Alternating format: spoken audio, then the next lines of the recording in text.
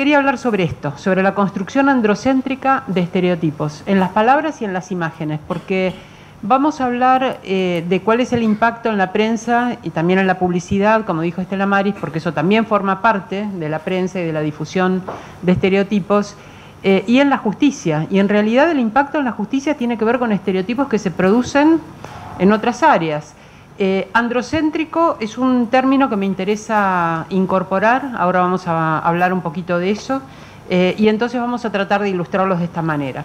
Primero, diferenciar el concepto de androcentrismo eh, de los conceptos de género y de sexismo. género tiene que ver con esta construcción cultural, el sexismo tiene que ver con la prioridad de un sexo sobre otro, pero el androcentrismo incluye eh, aspectos identitarios que no son solamente el sexo o el género, sino que son también otras relaciones de poder sociales, la clase, la etnia, la edad, muchísimas otras formas de construir estereotipos complejos que en el caso de las mujeres afectan de manera, en mujeres y diversidad de género, afectan por subordinación de género, por toda esta interseccionalidad de condiciones de subordinación. Entonces tenemos que verlo sobre todo en Argentina, en América Latina, de manera más compleja.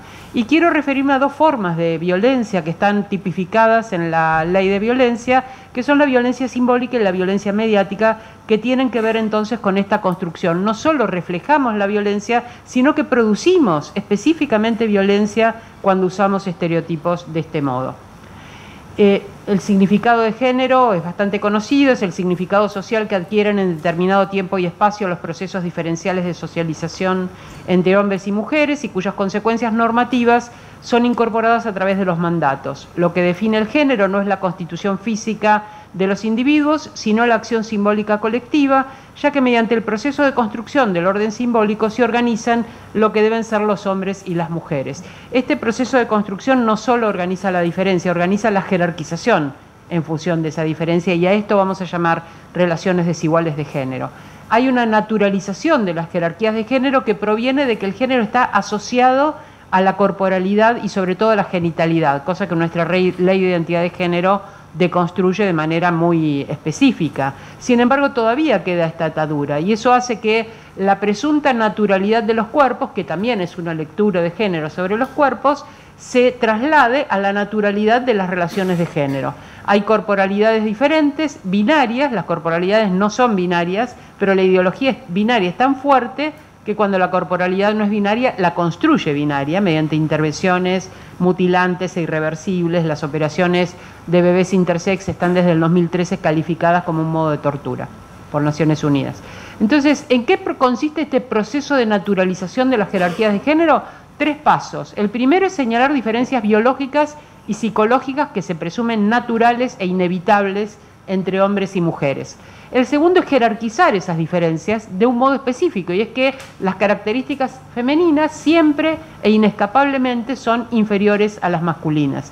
Si los varones son racionales y las mujeres emocionales, y esto es una diferencia natural, la racionalidad va a ser más importante que la emocionalidad. Si los varones son, tienen pensamiento abstracto y las mujeres pensamiento narrativo, y pensémoslo en la aplicación al derecho, en la comprensión abstracta del derecho, la abstracción es superior a la narratividad. Entonces, de esta manera se van jerarquizando no solo los sexos, sino las condiciones, de manera tal que cuando hablamos de jerarquizar esas condiciones ya podemos no referirnos a los cuerpos sexuados, no referirnos a varones y mujeres y mantener la relación jerárquica. Y la tercera es justificar en esa inferioridad biológica y psicológica el estatus social de las mujeres.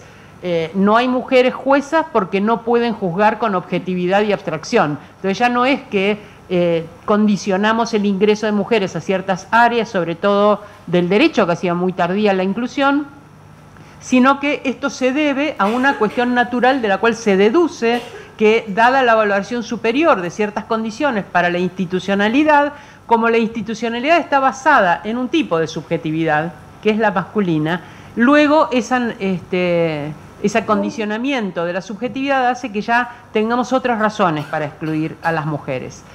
El sexismo es la asignación de capacidades y roles diferentes a hombres y mujeres a partir de sus atributos biológicos, desvalorizando las acciones de las mujeres frente a las de los hombres que son consideradas como relevantes y definen una situación de inferioridad, subordinación y explotación.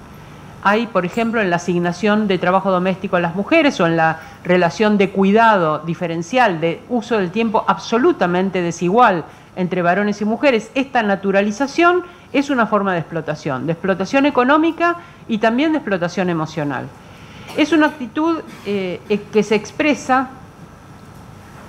en prácticas y preconceptos que desvaloriza, subordina, discrimina, excluye y estereotipa a un sexo con respecto al otro y en nuestra cultura patriarcal a las mujeres en relación con los varones. El androcentrismo, que es la palabra que quería incluir a diferencia del género y del sexismo, es el análisis de las relaciones entre sujetos sociales desde una perspectiva, la del sexo masculino, pero un tipo particular de masculinidad. Supone considerar a algunos hombres como el centro y la medida de todas las cosas. A diferencia del sexismo, que prioriza un sexo sobre otro, el androcentrismo es un concepto más amplio que contiene al sexismo junto con otros modos de exclusión. Se define desde el andros de la democracia griega, era el modo de nombrar al ciudadano en la democracia griega, que eran unos pocos sujetos, que eran todos varones, pero no eran todos los varones. Eran unos pocos varones eh, adultos, libres, ciudadanos, propietarios, heterosexuales, y actualmente blanco, occidental y alfabetizado. Ese fue el sujeto de la democracia griega, ese fue el sujeto de la Revolución Francesa. También la democracia europea se inicia con esta subjetividad, este varón excluyente de todas las mujeres y de muchas masculinidades subalternizadas. Por eso me importa mucho usar este concepto de androcentrismo, porque nos permite hacer alianzas mixtas con varones subalternizados en aquellas cosas que sean luchas en común. El sexismo entonces se alude a las mujeres y a las niñas en condición de exclusión, discriminación, estereotipación y minusvalía, y no es lo mismo que el androcentrismo que no se alude, donde no se alude a las mujeres y a las niñas ni a otros grupos subalternizados. El androcentrismo sencillamente ignora en su producción de universalidad, por ejemplo, todos los hombres nacen libres e iguales y tienen los mismos derechos, ese primer artículo de la Declaración de Derechos Universal de derechos del hombre y el ciudadano, ese todos los hombres era para algunos hombres que eran descritos como ciudadanos, es decir, aquellos que caían dentro de la descripción del andro. Sin embargo, se usa lo universal. Como se usó lo universal en la Declaración Universal de Derechos Humanos, 70 años de esa Declaración Universal, y se sucedieron una serie de declaraciones particulares hacia los niños, hacia las mujeres, hacia los migrantes, hacia los discapacitados, hacia los adultos mayores, que me importa mucho porque estoy estudiándola, ya estoy ingresando en las vivencias este, de, de esa discriminación.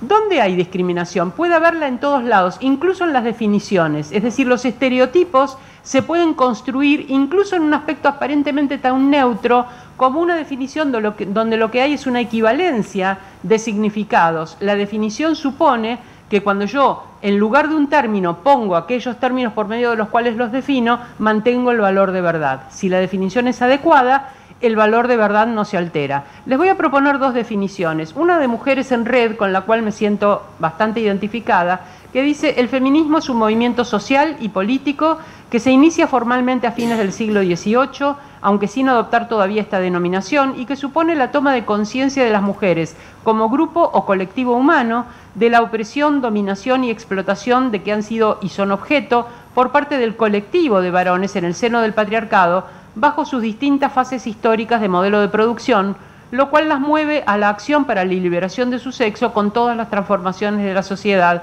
que aquella requiera. Es una definición muy amplia, si les parece que están de acuerdo, podríamos decir que si cada vez que dice feminismo lo reemplazamos por esta definición, estaríamos manteniendo el valor de verdad. Les voy a ofrecer otra definición hablando de Trump y sus amigos. Eh, un reverendo que se llama Frank Robertson, no iba a decir un adjetivo acá, el reverendo Frank Robertson dice el feminismo es un movimiento socialista que alienta a las mujeres a dejar a sus esposos, matar a sus niños, practicar la brujería, destruir el capitalismo y hacerse lesbianas. Es decir, que para el reverendo Robertson, cada vez que diga feminismo, lo reemplazamos por esta definición y mantenemos lo que él supone que es el valor de verdad de sus afirmaciones. Me parece muy importante en términos de presunta conciliación entre verdes y celestes, saber que cuando usamos las palabras, las palabras pueden ser las mismas y los significados no. Y saber que esto de pensar que las mujeres que defienden determinados derechos o tienen ciertos saberes son brujas implica una construcción del sujeto peligroso, que es el primer antecedente del derecho penal. Vamos a hablar de discriminación eh, jurídica, ese primer antecedente que es el Maleus Maleficarum, el martillo de las brujas, que en el 1400 construyó el Vaticano para eh, interrogar, primero reconocer, interrogar, torturar y finalmente eh, quemar a las brujas durante tres siglos en Europa. Entonces, usamos a veces las mismas palabras y no queremos decir lo mismo. Y también tengo que decir que cuando leo esto, si dejar a sus esposos implica dejar relaciones que son de violencia, si matar a sus niños implica ejercer libertades personales de decisión acerca de si tener o no tener niños, yo me sentiría bastante identificada también con esta. ¿A qué se llama violencia contra la mujer? La, Convención eh, de Belén do Pará dice que es cualquier acción o conducta basada en su género que cause muerte, daño o sufrimiento físico, sexual o psicológico a la mujer, tanto en el ámbito público como en el privado hay en nuestra ley de violencia, la 26485, varios tipos de violencia física, psicológica, sexual, económica, patrimonial y simbólica. La violencia simbólica, voy a hacer muy rápido porque quiero mostrarles unas imágenes y tengo cinco minutos ya. La que a través de patrones estereotipados, mensajes, valores, íconos o signos transmita y reproduzca dominación, desigualdad y discriminación en las relaciones sociales, naturalizando la subordinación de la mujer en la sociedad. Me importa mucho que sepamos que no solo usamos estereotipos, somos violentas o violentos o violentes cuando estos estereotipos son puestos en funcionamiento y ejercemos este tipo de violencia. En particular nos concierne la violencia mediática, que es aquella publicación o difusión de mensajes e imágenes estereotipados a través de cualquier medio masivo de comunicación que de manera directa o indirecta promueva la explotación de mujeres o sus imágenes, injurie, difame, discrimine, deshonre, humille o atente contra la dignidad de las mujeres, como así también la utilización de mujeres, adolescentes y niñas en mensajes e imágenes pornográficas, legitimando la desigualdad de trato o construyendo patrones socioculturales reproductores de la desigualdad o generadores de violencia contra las mujeres. Eh, voy a eh, un estereotipo, para tomar una eh, definición muy clásica, que es la de Rebecca Cook, es la visión generalizada o preconcepción sobre los atributos o características de los miembros de un grupo en particular o sobre los roles que tales miembros deben cumplir. El estereotipo de género en particular, como lo define Rebecca Cook y Simon Cusack, se refiere a la construcción social y cultural de hombres y mujeres en razón de sus diferentes funciones físicas, biológicas, sexuales y sociales. Más ampliamente pueden pensarse como las convenciones que sostienen las prácticas sociales de género. Acá hay una definición binaria, podríamos incorporar varones y mujeres trans, sexos no binarios, sexos fluidos, etc. Algunas imágenes, imágenes de sufragistas.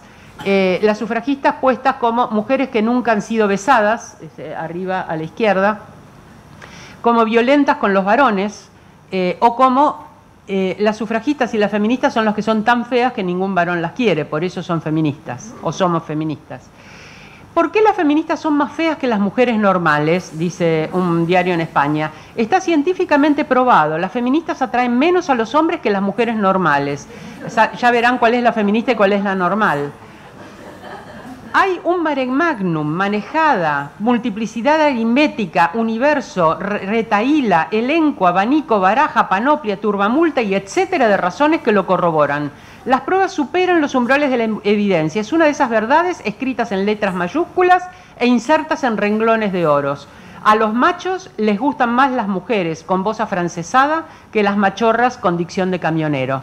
Esta es la manera sutil. El les, como si fueran ustedes, yo no creo que esto esté escrito por una mujer. Veremos, es una prosa en primera persona, es un, este, lenguaje objetivo para mostrar.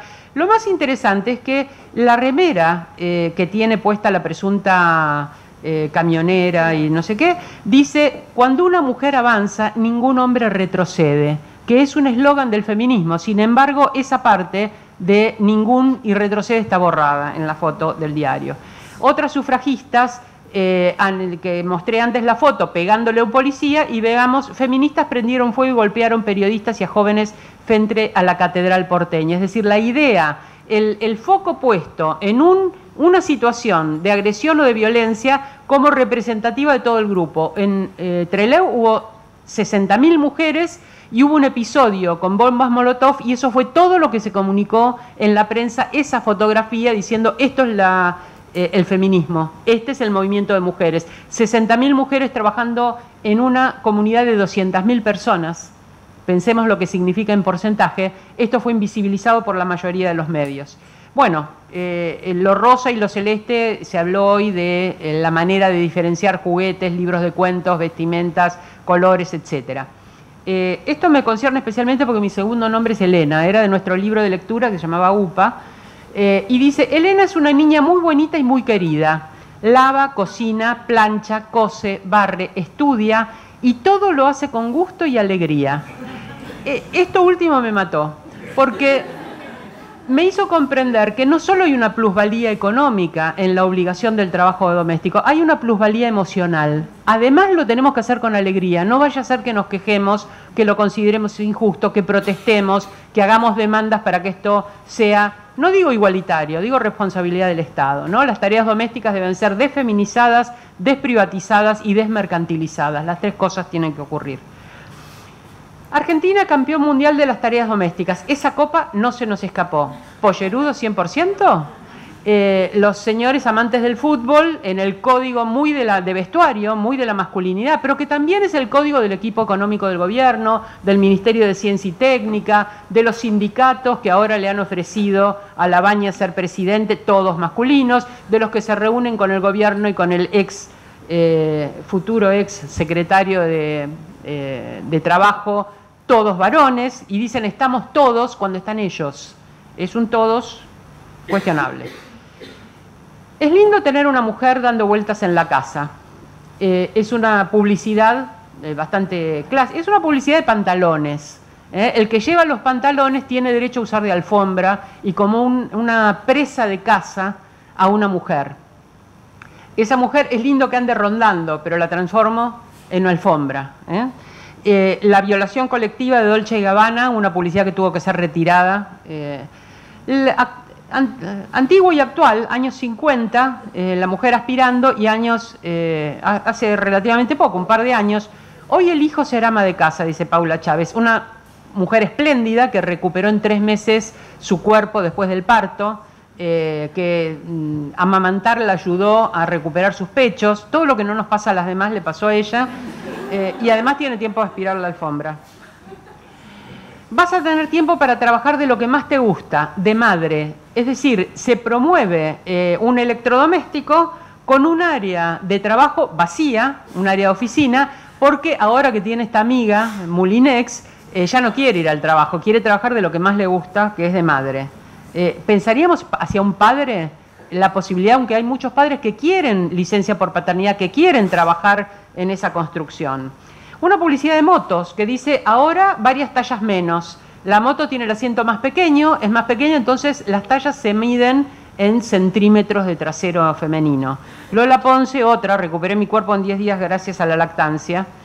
Es un método eh, publicidad de prostitución. Habría que hacer un análisis, de, mm, no tengo tiempo ahora, de cuáles son las posturas en las cuales se ofrece esa publicidad, porque tienen que ver con sojuzgamiento, subordinación, esa postura de una mujer que accede al dominio de un varón. Enfermerita sexy. Eh, el primer eh, talle es de 1 a 3 años. Estamos construyendo una imagen de figura típica de la pornografía 1 a 3 años, 4 a 5 años, hayan acribillado a policía y noviecita de 13 en un hotel del Chaco. ¿Qué quiere decir noviecita de 13 en un caso que claramente es de violación, de abuso sexual? Crear Hogar fue una campaña de arredo para pensar también en buenas prácticas, que fue presentar familias diversas en la eh, publicidad de ropa para el hogar y ropa de cama. Sin embargo, hubo quejas. De acuerdo con Lorena, eh, dice, una cuestión es el respeto por la diversidad y otra cuestión es que lo difundan como modelo deseable. Otra clienta perdida, o sea, se fue de comprar ahí, porque ¿cómo van a poner abrazándose y, como, eh, y en bata y en una domesticidad una pareja homosexual como cualquier otra pareja? ¿Cómo podría ser deseable? Bueno, para mucha gente es deseable y felizmente logran concretarlo. Hay niñas con pene y niños con vulva, así de sencillo. Nuestra propia eh, campaña de educación sexual integral del Ministerio de Educación sigue teniendo cuerpos binarios. En España hubo esta campaña para pensar que no siempre las corporalidades están vinculadas con las identidades y no siempre alguien que nació con pene progresa con pene, no siempre alguien que nació con vulva progresa con vulva y aún manteniendo su genitalidad podrían tener otras identidades de género y deberían ser respetadas. Eh, tener una comunicación contraria al binarismo es una urgencia no solamente en los medios, sino también en la educación sexual. Otra, crece la tendencia de los baños unisex en bares, empresas y universidades, pero aclaran, no todos se animan a utilizarlos. ¿no? Hay que ser muy valiente para entrar a un baño unisex como si fuera la casa de uno, donde los baños no están diferenciados. Esto es todo, amigos.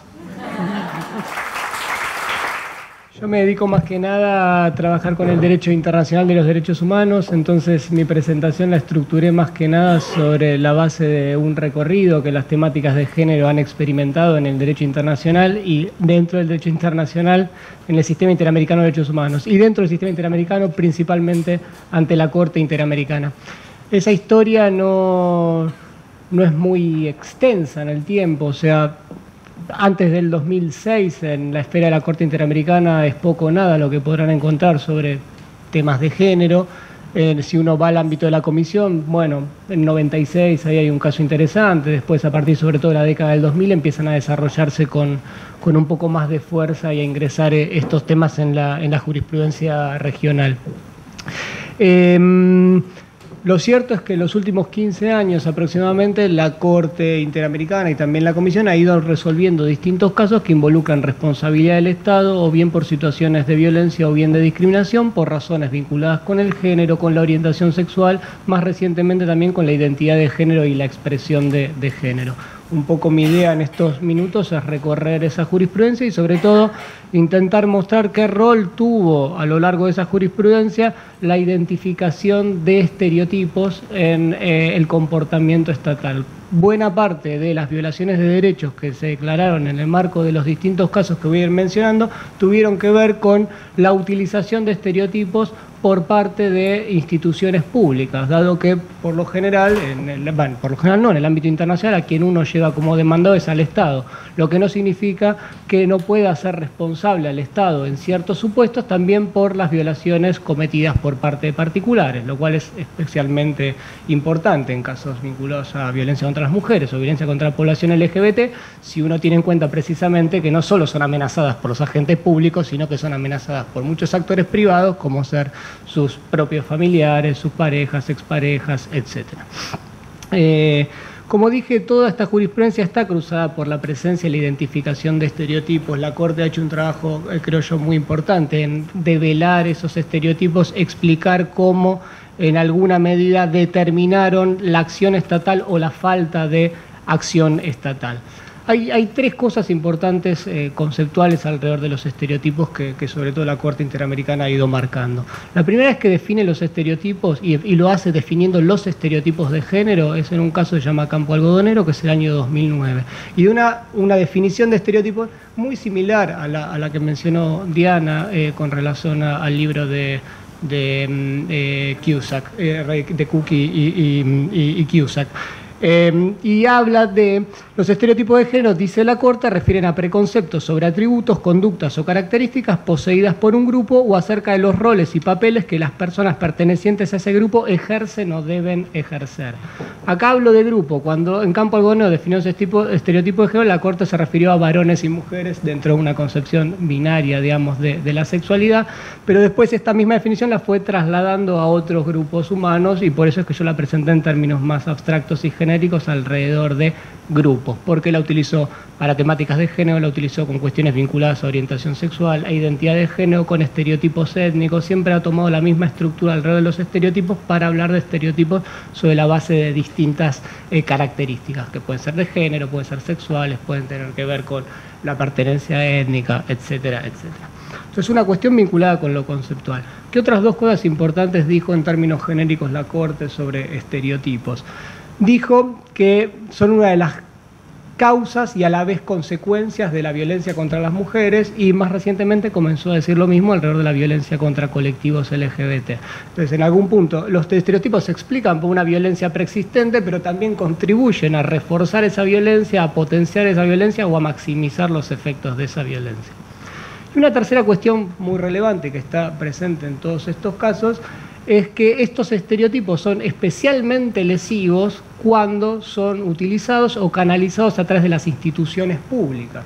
Y la gran mayoría de los casos que la Corte eh, resolvió y también la Comisión Interamericana involucraban, por supuesto, a agentes públicos cómo ser las fuerzas de seguridad en muchos de esos casos, cómo ser los operadores jurídicos en muchos de esos casos y más recientemente también otros agentes públicos o funcionarios públicos como por ejemplo efectores sanitarios que trabajan en hospitales públicos. Hay un caso bastante reciente de la Corte que es IB contra Bolivia donde se analiza la responsabilidad del Estado por una ligadura de trompas no consentida realizada por un efector público y es condenado el Estado entre otras razones por por eso y, por violación a distintos instrumentos internacionales, uno de ellos la Convención de Belén do Pará, porque calificó esa conducta como una forma de violencia contra la mujer y también explicó en ese caso a la Corte cómo esa ligadura de trompas no consentida había respondido también a ciertos estereotipos respecto del personal médico con relación a quién es el mejor capacitado para tomar decisiones.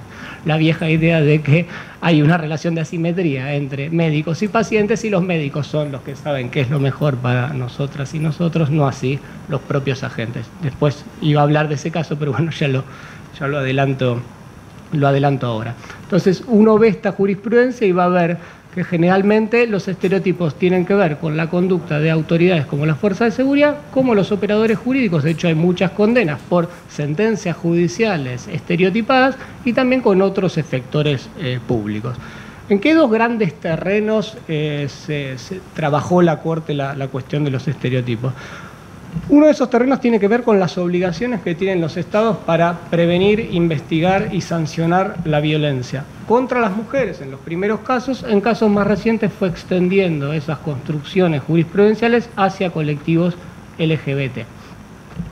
¿Qué ha dicho o qué, tipo de casos uno podría relatar para que vean cómo esos estereotipos entran en acción y cómo la Corte, digamos, cuestionó la utilización de esos estereotipos?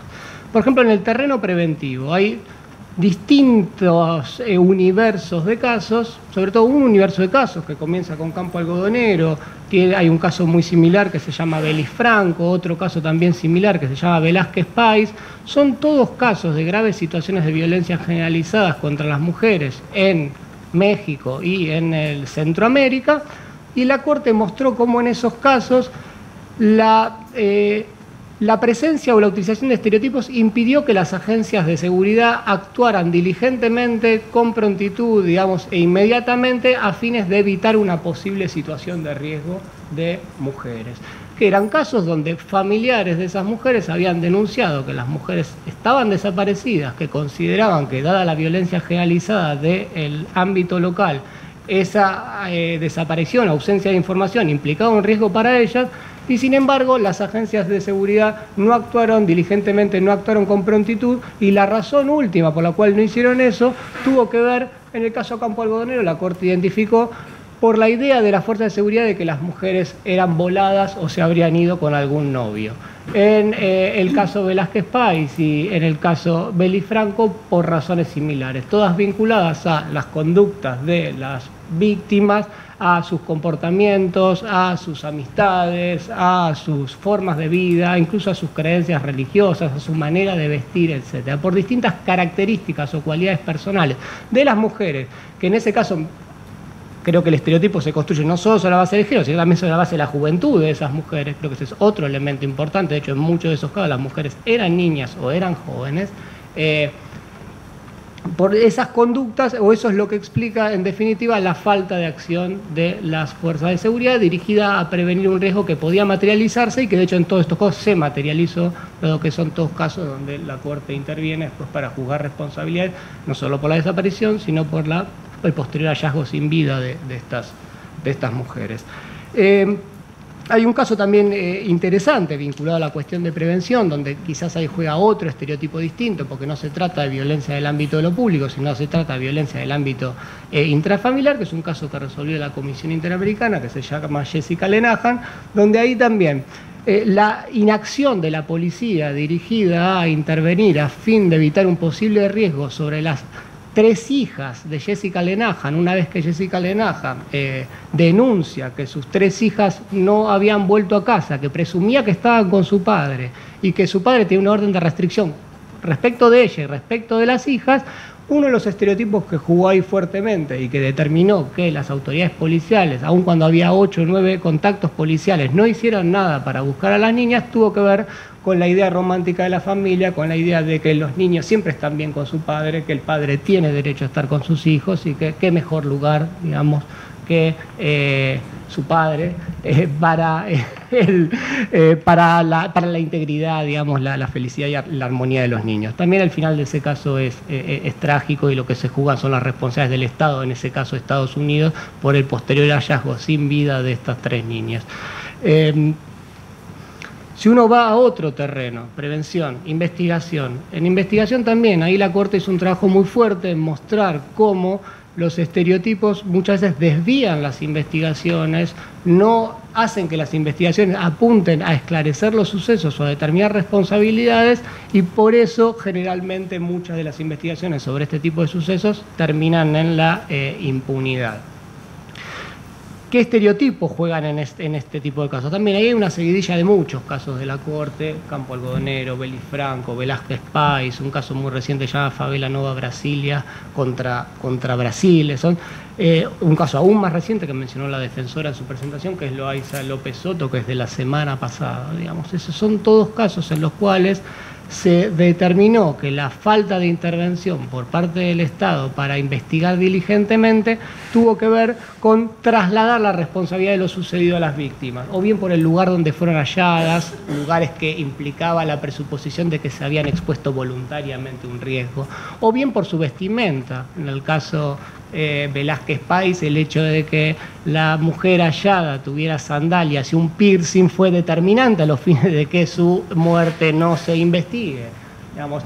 Eh, o, en, por ejemplo, en el caso de María Isabel Belifranco, el hecho de que la niña o que hubiese peritajes que hablaban de que la niña había tenido novios y tenía distintos amigos también fue determinante a los fines de que la muerte no valga lo mismo que otras muertes y no genere el mismo deber de estatal que otro tipo de muertes y finalmente termine, termine en, la, en la impunidad.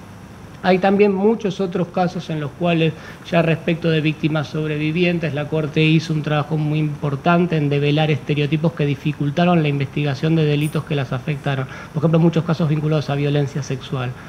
Hay muchos casos, Fernández Ortega contra México, Rosendo Cantú contra México, J contra Perú, Espinosa González contra Perú, Favela Nova Brasilia contra Brasil.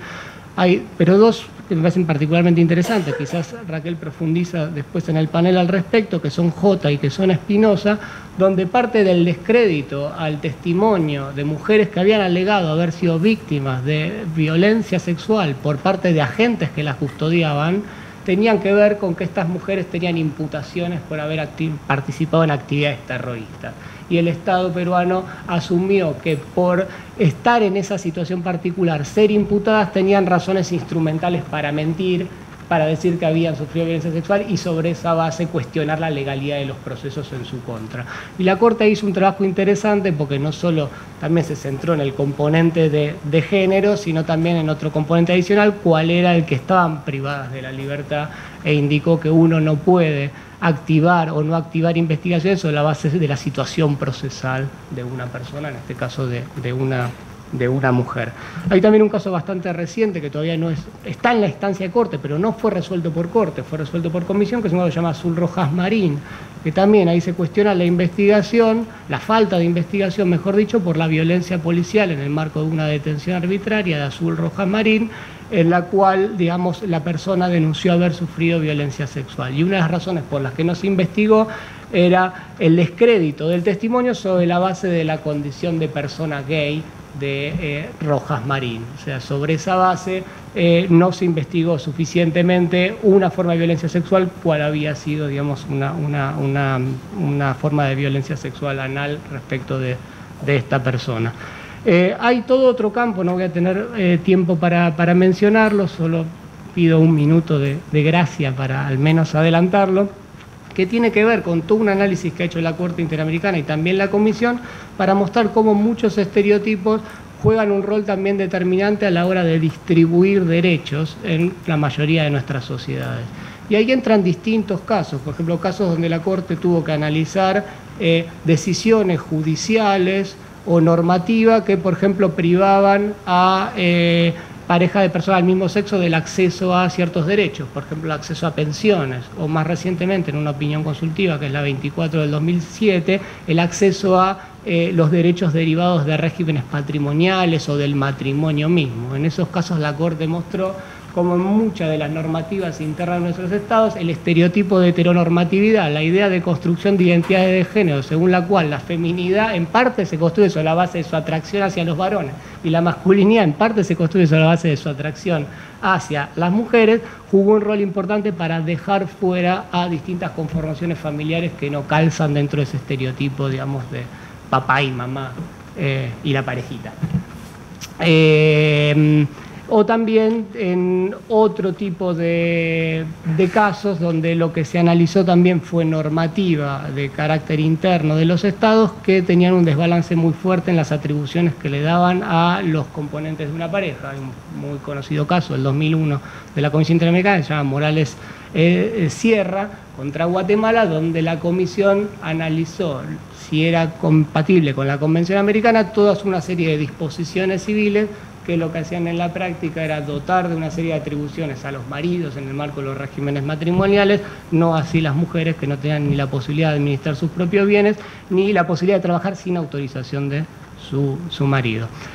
Cierro con esto. Eh, una de las cuestiones importantes también vinculado a toda la tarea de la Corte y del sistema interamericano sobre detección de estereotipos fue el rol que le dio luego a la hora de establecer reparaciones. En muchos de estos casos que estoy mencionando, la Corte entendió que por las características del caso la violación no estaba anclada en ese caso, no era una cosa episódica que había pasado ahí y que no pasaba como patrón en otros casos. Razón por la cual a la hora de establecer reparaciones lo hizo con lo que la propia Corte llamó una vocación transformadora. La idea de que para reparar no solo hay que tratar de volver a la víctima al estado anterior, lo cual en muchos casos directamente es imposible, pero en otros casos también dice la Corte es inconveniente, porque ese estado anterior fue el estado en el cual la violación se produjo. El estado anterior a las muertes en Campo Algodonero, en Belifranco, en Velázquez fue todo un contexto de discriminación. No hay que volver a ese contexto. Lo que hay que hacer es modificar ese contexto porque el contexto fue lo que explica en parte la violación de derechos humanos que la Corte en estos casos juzgó.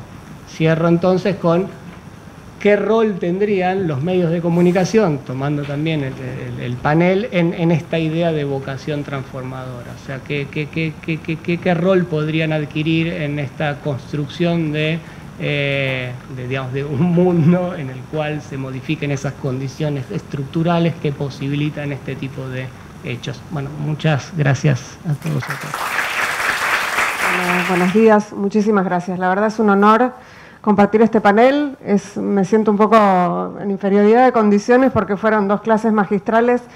Eh, pero bueno, voy a intentar eh, hablar un poco desde mi perspectiva en relación con el, con el tema que nos convoca. Eh, y en principio me gustaría diferenciar periodistas de medios de comunicación. somos muchas las periodistas con perspectiva de género y muy pocos los medios de comunicación con perspectiva de género y además estamos en un momento en el que eh, los medios de comunicación están en crisis por muy distintas razones, por una crisis que es global y además por una crisis que es nacional. Con lo cual, eh, es, digamos, podemos demandarles a los medios de comunicación un compromiso con la, perspectiva de género, eh, pero está muy complicado demandarnos a, los, demandarnos a las y los periodistas más que tratar de conservar si tenemos algún trabajo eh, y hacer nuestro trabajo con perspectiva de género donde podamos y cómo podamos. Eh, en ese contexto, eh, traje algunas informaciones respecto de un, informe que tuvo poca difusión, que hizo una agencia de gente eh, que conozco y que lo que hizo fue analizar los diarios Clarín y La Nación de 1998, 2008, 2015, que fue cuando nació Ni Una Menos, y los primeros cuatro meses de 2018. Lo que hicieron fue relevar el tratamiento de la violencia contra las mujeres en los medios gráficos eh, de mayor tirada, ¿no? los que marcan más agenda, y lo que hicieron fue relevar, eh, analizar los términos crimen pasional, violencia machista, femicidio, violencia de género y violencia doméstica, porque algunos de estos no existían hace 20 años y otros se usan por suerte cada vez menos. Eh, entonces, la, la, evolución que se ve es que en el 98 se encontraron solamente tres notas sobre el tema violencia machista y en eh, un cuatrimestre solo de 2018 hubo 569.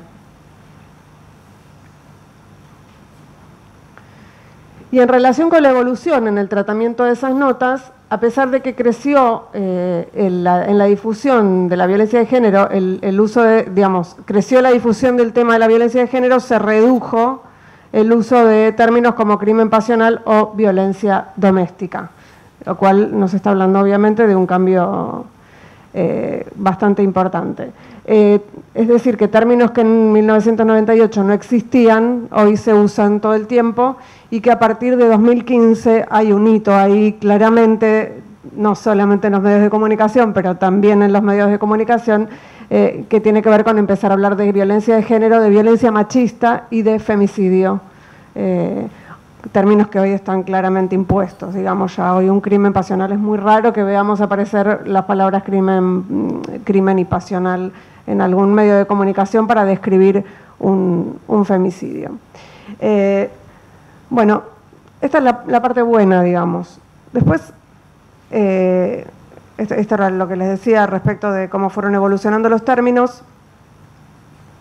Eh, cuántas veces fueron mencionadas, ahí, digamos, ahí, se ve la, evolución clara entre el 98 y el 2018. Eh, y después también, bueno, un poco como, Diana traje algunos ejemplos eh, de cómo todavía hoy y hace muy poco tiempo algunos medios de comunicación tratan eh, en este caso a las víctimas. Eh, en el caso, ustedes se acuerdan de Melina, el, femicidio de Melina.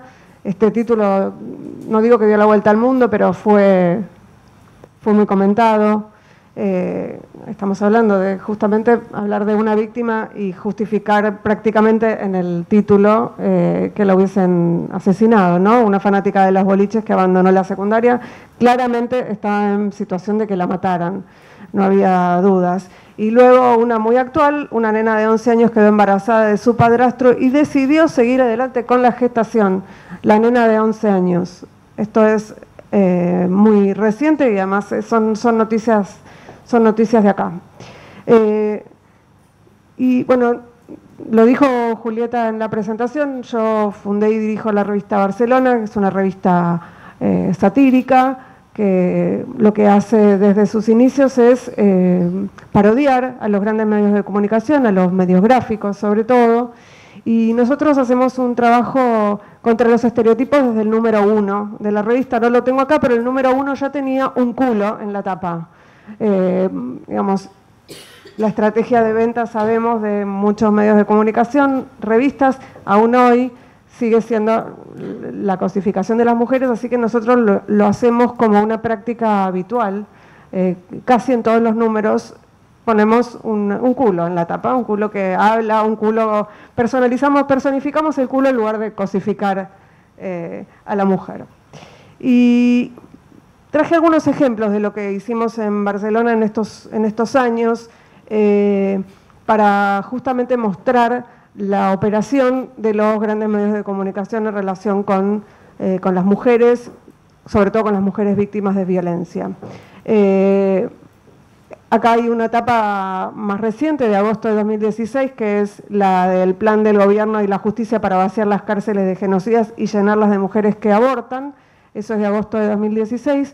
Y están para el crimen es de diciembre de 2011. Y esto tiene que ver esta idea de la tendencia, ¿no? de, presentar esto de una serie de femicidios, por ejemplo, como una tendencia como es la tendencia instalada en los últimos milenios de golpear, denigrar, desfigurar, violar, quemar, acuchillar y acribillar al sexo débil.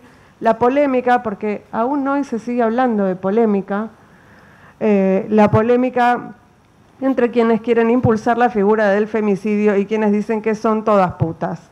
Opinan el baterista de Callejero, Fabián Tablado, Mariano Clos y el ex interventor de Lina en La Roja, son todos varones eh, involucrados con episodios de violencia machista. Eh, oye, y ahora no puedo pasar la página. Bueno, ahí está. Y traje otros ejemplos más. Uno que tiene que ver con... Eh, son todos ejemplos previos al Ni Una Menos. También esto es interesante, digamos, porque es una... Lo que nosotros veníamos haciendo era una reflexión sobre el tratamiento que le dan los medios de comunicación hegemónicos a los a los femicidios y a las víctimas de violencia, sobre todo a las adolescentes, en el caso de la etapa de putitas. Eh, esa etapa es de em, junio de 2013 y, la otra es de em, mayo de 2015 y estamos hablando del tratamiento que los medios de comunicación le dan y le siguen dando muchas veces a las, a las víctimas. Em, Diana trajo el decálogo de la red PAR, pero yo lo que traje es otra cosa que, me sirve para ilustrar también eh, eh, cómo, cómo, cómo trabajar con los estereotipos. Es un trabajo muy interesante que hizo la Defensoría del Público eh, sobre cómo se trata, cómo, se, digamos, cómo tratar temas de género en los medios de comunicación. Sobre todo ellos trabajan con la comunicación audiovisual, pero creo que es aplicable en todos los casos. ellos definen se pregunta, digamos, hay, una serie de preguntas y respuestas que son una guía útil realmente para cualquier, cualquier eh, periodista que, quiera tratar temas de género, como, con, la perspectiva que corresponde. Hablan de, digamos, la pregunta es cuándo se ejerce violencia mediática y habla de, en el caso de las mujeres, por ejemplo, representarlas, y van a ver que vamos a marcar que sí en todos los ítems, representarla únicamente como objeto sexual de consumo o trofeo, naturalizar que es la responsable de la limpieza del hogar, la cocina y crianza de hijos o hijas. Bueno, eh, una cosa que yo erradicaría del periodismo, la primera, una de las primeras preguntas que erradicaría del periodismo es preguntarles a las mujeres cómo, compatibilizan su vida profesional con su vida familiar, que es una pregunta que jamás les hacen a los varones, nunca salvo que la empecemos a hacer, se la empecemos a hacer también a los varones, me parece que debería ser erradicada del catálogo de preguntas posibles a las mujeres. Eh, dar a entender que es una compradora compulsiva, tenemos el caso de la, gordita del Banco de Galicia, ¿no? Fíjense que el Banco de Galicia cambió eh, esa manera de, digamos, esa campaña de publicidad. Ya no es ella la compradora compulsiva solamente, y esto tiene que ver con la presión social, digamos, esto tiene que ver con el cambio cultural, que hayan cambiado no solo la actriz, creo que eso tuvo que ver con otra cosa, pero digo, sí, eh, la manera de, abordaje de, del, digamos, de, la, de, la mujer en esa publicidad, porque en los primeros años era una compradora compulsiva que le usaba la tarjeta de crédito al marido para eh, llenarse de cosas. Eh, realizar juicios sobre su modo de vida, con quién sale, cómo se viste, cómo circula, por dónde circula, ya vimos, como Melina. Eh, visibilizar un único modelo de belleza deseable, joven, delgada, a la moda. Tenemos en todos los portales hoy... Bueno, tenemos a Valeria Massa contando que el marido le decía que tenía, la obligaba a estar flaca cada vez que eh, tenía un hijo. Y, se habla de polémica además. ¿no? Yo no veo en esos casos cuál es la polémica. O sea, no está bien, ¿no? Como tenemos algunos consensos hemos llegado en esta sociedad. Uno es que matar mujeres por ser mujeres está mal. Sobre la violencia sexual todavía hay algunas discusiones, pero hay cuestiones que ya no, no, la palabra polémica también debería estar erradicada del catálogo de, adjetivos para algunas cuestiones. Normalizar la, división sexual del trabajo, oficios, profesiones o ocupaciones exclusivas de mujeres, secretaria, enfermera, la enfermerita, maestra jardinera, ama de casa, o de varones, gerente médico, profesor, profesor albañil, adjudicar características específicas del ser mujer, débil, emocional, manipulable, celosa, histérica, chismosa, irracional, natural.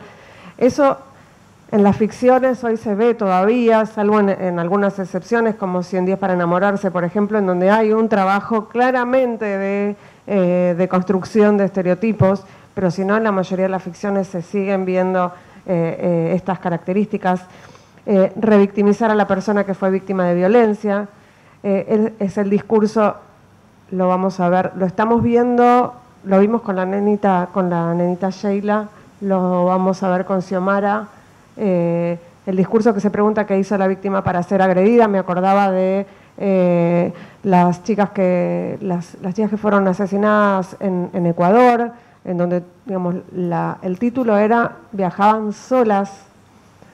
Era obvio que las iban a matar si viajaban, que además viajaban acompañadas, pues estaban eran dos, pero era, era medio invisibilizar desigualdades sociales presentes en diversos ámbitos, laboral, salud, educación.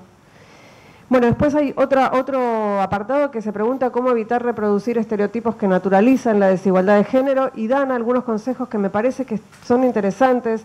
Por ejemplo, eh, dan ejemplos de zócalos televisivos que eh, digamos que obviamente reproducen estereotipos, como por ejemplo homosexual conduce programa infantil, o sea, la noticia es que un homosexual conduce un programa infantil, y digamos, el ejercicio que nos proponen es que eh, reemplacemos eh, la palabra homosexual por heterosexual, digamos, si titularíamos heterosexual conduce programa infantil, eso nunca sería noticia, o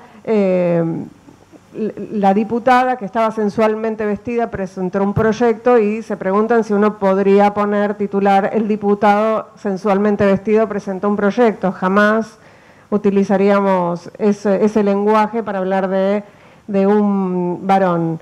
O eh, evitar el masculino como valor genérico, pero con, ejemplo, ¿no? como el hombre avanza hacia la cura del cáncer, capaz que es la humanidad o quien sea que esté avanzando hacia la cura del cáncer, pero no es necesariamente el hombre. Em, me parece que, eh, y, y, me quedo con una pregunta también, ¿no? porque me parece que este es un momento en el que tenemos muchas preguntas, no necesariamente tenemos todas las respuestas. Eh, entre las periodistas feministas estamos, me parece, también deconstruyendo una manera de ejercer el periodismo, estamos cada vez más ejerciendo el periodismo en red, el periodismo en sororidad.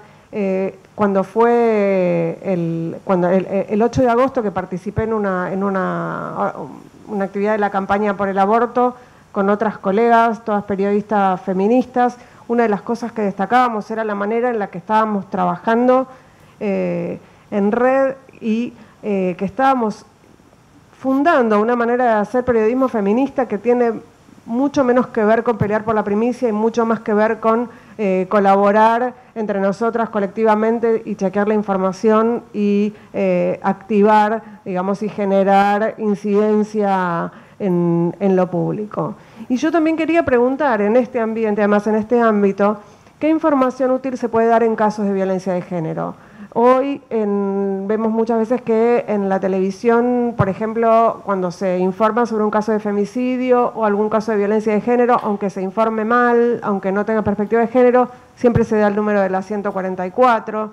Eh, y la verdad es que digamos, las políticas públicas y los recursos del Estado no funcionan necesariamente eh, como deberían funcionar. Y muchas veces las periodistas nos preguntamos, y nos pasó con Ni Una Menos, y nos sigue pasando, ¿cómo hacemos cuando estamos mandando a tantas mujeres a, eh, digamos, a consultar o a recurrir a oficinas públicas que no dan abasto o que no responden como corresponde a las demandas de las mujeres? Es una pregunta que nos hacemos, que me hago, que les hago, porque me parece que esto tiene que ver sí con la responsabilidad del Estado en dar respuestas a las mujeres que eh, necesitan ayuda. Ahí las periodistas somos un canal eh, y muchas veces la impresión es que estamos mandando eh, mujeres víctimas de violencia al, vacío, ¿no? Porque, no, digamos, porque nosotras tampoco podemos ayudarlas ni, ni está en, en nuestras manos.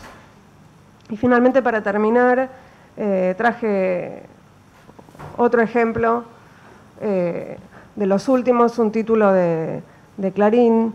Eh, Dramanchaco, también murió la chica de 13 años desnutrida a la que le habían hecho una cesárea. Acá omiten que era una chica de 13 años que obviamente había sido... Después hubo una discusión sobre si había sido violada o no, porque, pero claramente no, es que murió porque le hicieron una cesárea, ¿no? Ahí hubo un caso claramente de vulneración de todos sus derechos y eso no está reflejado en ese título y ese título claramente no tiene perspectiva de género y a cambio, eh, y era una chica wichi, sí, o sea, tenía realmente todos sus derechos vulnerados, no se me ocurre algún derecho que no tuviera vulnerado y, y a raíz de eso traje también para recordar una etapa de Barcelona eh, digo, porque el, de la niña Wichi eh, que, que fue difundido recientemente no es excepcional, obviamente, y esta etapa es de hace muchos años, es de 2012, muchos años, hace seis años, eh, y, tenía que ver también con, con, una situación de vulneración de derechos de una niña, y nosotros pusimos niña pobre, violada y embarazada, obliga a todos a hacerse los boludos con el tema del aborto en eso tal vez hayamos, eh, no sé, avanzado un poco. Muchas gracias.